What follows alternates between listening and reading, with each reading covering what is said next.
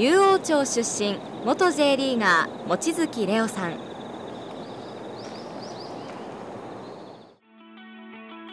あの上昇チーム安高校で1年生から活躍。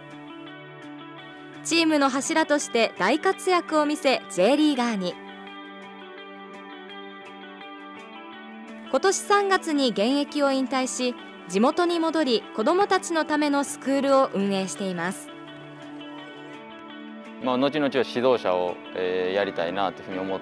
てたのとそれも、えー、僕は滋賀県で特にこの地元で、えー、やりたいなというふうに思ってたので兄がずっと先にやってくれてたので。実は兄誠也さんも16歳以下日本代表に選出されるなどの選手歴を持ち望月兄弟を求めてスクールに通う子どもも多いといいます常に、えー、相談し合えるっていうのは強みかなと思うんでそこまで気使わないんでやりやすいなっていうふうに思いますけどね僕は。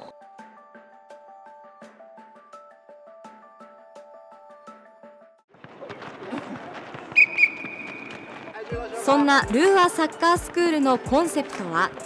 技術を教えるのはいやもちろんなんですけどそれを、えー、いつ、えー、どう使うかっていうところを、えー、メインにして、えーと、指導させてもらってます。技術だけではいい選手とは言えない。状況に合わせた技術を実際にプレーで発揮できるかということが大切だといいます。前にも言ったけどやっぱわその後が分かってる選手ってうまいから。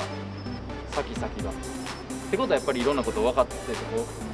その時が今どこにじゃあ相手がいて味方がいてっていうのも分かってるしじゃないと次のことって多分分からないと思う。だからその先々をちょっと読めるように、難しいけどでもこれは積み重ねで絶対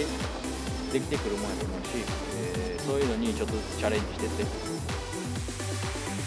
またこのような場面も。ぱり僕とレオ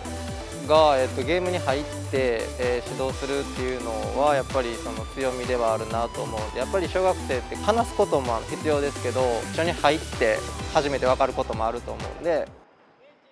えそこっていうところにも出してくるすっごいうまいコーチだと思いますワンタッチのパスとかうまいしまあそういうとこ真似したいかななんかドリブルが違うあのータッチを教えてもらうから、うん、なんか面白い。